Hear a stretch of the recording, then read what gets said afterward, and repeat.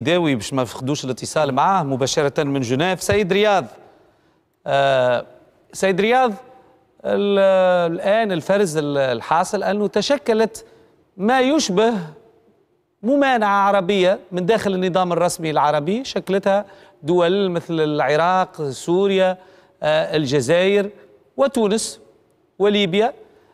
ولكن رغم ذلك يقول قائل وأنت مختص في في الوضع الاستراتيجي هذا أنه هذا صوت خافت غير قادر على قلب ميزان القوة حتى داخل النظام الرسمي العربي. خلي عاد على مستوى دولي وعلى مستوى إقليمي آه، الخاص بأرض المعركة في فلسطين وفي الشرق الأوسط عموما. يعني هذا أصوات ترفض أو تتحفظ.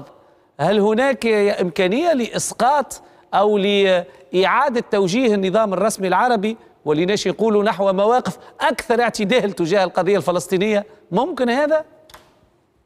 هو الجامعة العربية يعني فقدت توازناتها على الأقل منذ 1991 لما قررت واعطت سك على بياض الأمريكان أن يدخلوا ويدمروا العراق. نعم. القرارات الجامعة العربية كانت تؤخذ بالإجماع بالإجماع يعني ما ثمش أغلبية وأقلية. يا اجماع لا نذكروا معمر القذافي لا يرحمه كيفاش هاجم حسني مبارك قول له القرار من منذ متى يعني قرارات جامعة عربية تأخذ بالتصويت هي بالإجماع نعم. ثم ثم بند آه، في ميثاق الجامعة العربية ينص نعم. على الدفاع العربي المشترك يعني نعم. المفروض الجيوش تتشكل للدفاع عن غزة بند بند موجود طبعا ما حذفوش في كل الحالات الجامعة العربية اختطفت من عام 91 وأصبحت تديرها نعم. ملكيات بتواطأ مع مصر يعني نعطيك شيء ربما صادم للمشاهد الكريم نعرف نعم. حزب الله والمقاومة اللبنانية التي سلحت ودربت حركة حماس والجهاد الإسلامي وكتائب أبو علي مصطفى وهي ماركسية نعم. سلحتهم ودعمتهم المقاومة اللبنانية وحزب الله يعتبر من قبل مجلس التعاون الخليجي والدول الخليجية تنظيم إرهابي وطرح حتى سيد رياض طرح ذلك على نعم. على الجامعة العربية أتذكر في 2015 وكانت آه، تونس نعم. رفضت هذا التصنيف طبعا لأنه تصدت لهم الجمهوريات الجمهوريات الوطنية اللي ما استناحاش الاستعمار نقول الجمهوريات الوطنية التي حاربت الاستعمار وعندها تاريخ في محاربة الاستعمار مقابل ملكيات صنعها الاستعمار يعني وهذا آه، صنعتها وزارة المستعمرات البريطانية التي صنعت الكيان الصهيوني وهذا منشور يعني آه، أرشيف وزارة المستعمرات البريطانية منشور فلا تنتظر منها نعم.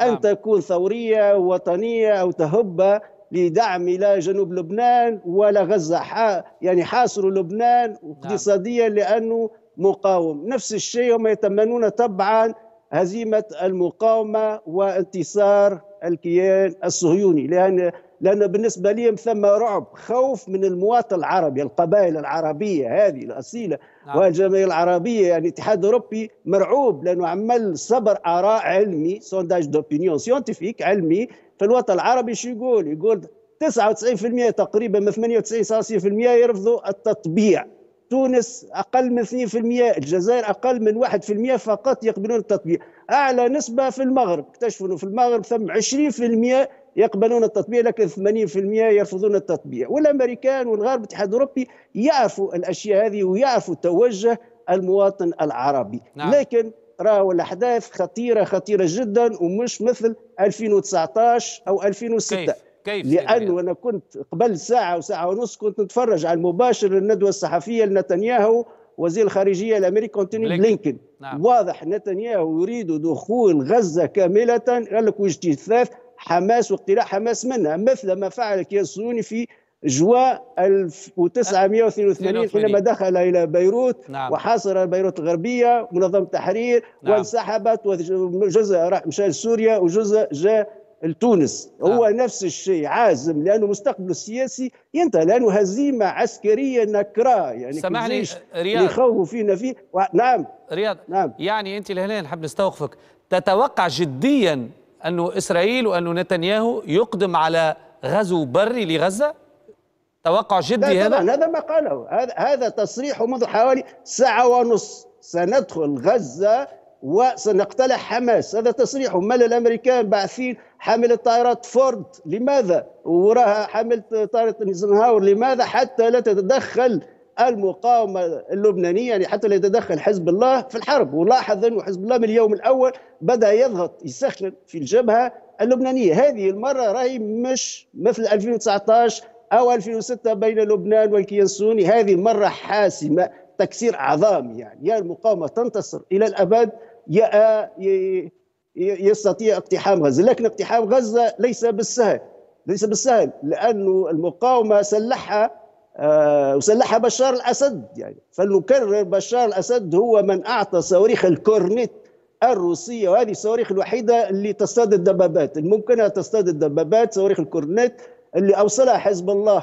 إلى المقاومة لأن المقاومة في غزة كما قلت هي ثلاثية فيها كتائب أبو علي مصطفى وهو تنظيم ماركسي عربي أسسه جورج حبش تابع جبهة الشعبية تحرير فلسطين فيها حركة الجهاد الإسلامي وكتائب عز الدين القسام التابعة لحماس وحتى قادة وكالة رويترز نزلت يعني مقال مفصل يقولوا قادة العسكريين لكتائب الدين القسام حتى كبار قادة حماس لا يعلمون بالعملية أو بالتوقيت. كانت هناك سرية مطلقة وزارة الخارجية الأمريكية اتهمت محور المقاومة من طهران إلى بيروت إلى دمشق إلى غزة. مع بعض أمبلك هل هذا المحور سيتحرك في نفس الوقت مع أن المقاومة اللبنانية حزب الله بدا يسخن في الجبهة نعم. آه حتى لا تترك غزة لوحدها لكن يبدو أن القرار فعلا قد اتخذ وهو غزو بري كامل وشامل لغزة. نعم. واضح واضح سيد رياض. ابقى معنا سنعود إليك للمشاركة في النقاش. أعود لسونيا ما تكلمتش أنت بخصوص القرار. آه، تونس تحفظت على نص قرار جماعة الدول العربية وكانت حاسمة في هذه في هذه المسألة وفي هذا الاتجاه. بموائمه الموقف الرسمي مع الموقف